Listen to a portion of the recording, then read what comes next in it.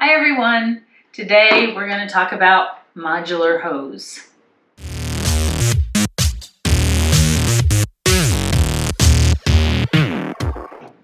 So first off, what is modular hose? Well, it's like it sounds. You basically buy all these pieces and put together what you need in order to attach things to other things.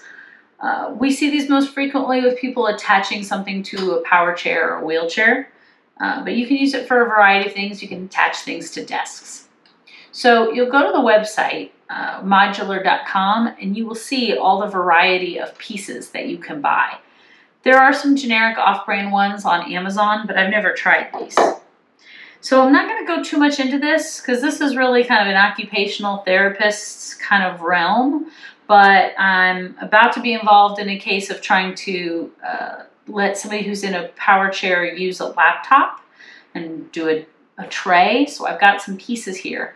And I want to show you some of the things that you should consider when deciding if this is a solution for you.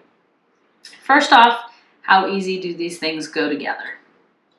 Well, so you take the skinny end of the fat end and you push them together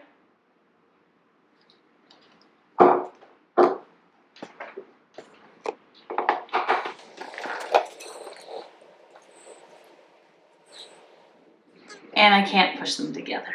So you can see this is tough. These are not just going to fall apart on your on your patient or your client, the person you're buying this for, because they're really difficult to get together and they're really difficult to pull apart. So they sell a tool that you can buy to help put them together. And they also say that this will help if you're trying to assemble the modular in maybe areas you can't reach. So let's open up this tool. And basically you can see you put one end in here, you put one end in there. When you squeeze it together, it's going to put them together. So let's give that a shot. So I'm going to put, I'm going to do this flat. All right, skinny in there. Fat in there. And I'm going to squeeze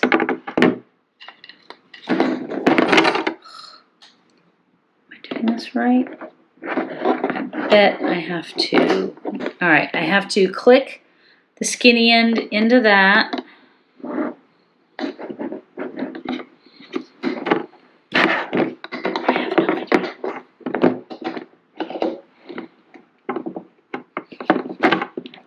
Okay, I've got them kind of together on my own. There we go. And now when I squeeze that tool, they went together. And you can see they're really hard to turn, move. Once you've got this manipulated into the shape you want, it's probably going to stay in that shape. So I think this tool is a must-have if you're going to try to put these modular hoses together. Because once again, I can't do it. I mean, maybe if you push down and had a good surface to push against, maybe you could do it, but the tool, even, even with the tool, wasn't as easy and it's a grip like this. Okay, so what I've got here um, in some of the ways that I'm considering of how to attach a laptop uh, to a power chair is I've got a tray with Velcro on the bottom. And this is a, an Add-A-Lap from Symmetric Designs.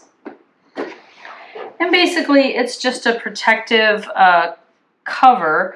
They call it a small uh, snap lap desk.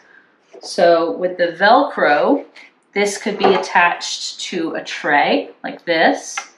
That way it would live on the tray. And then you could attach the tray. You know, you get a plate. They have different plates for these. You get a plate and you put this modular hosing on and you attach it to the chair. So you might see how that looks, something like this. These clamps to attach things to chairs are super, super heavy duty. You can also use these to attach things to a table. So if I was using my iPad all the time at my desk, you could attach it like this and have it always there at a different height. So it really just boils down to there's lots of pieces and there's lots of plates and there's lots of end caps.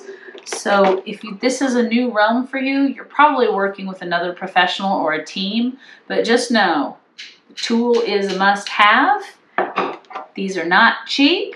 Every little piece you're buying separate to try, you know, the, the solution that you want but know that this is a really well-made product. It's gonna last, it's gonna hold whatever form you put it in and can support some weight. It's not just gonna fall over. And there are off-brand ones on, on Amazon, Walmart, but I get these from modular.com. Is it modularhose.com? But I get these from modularhose.com. Thanks, like and subscribe, and I hope that helps.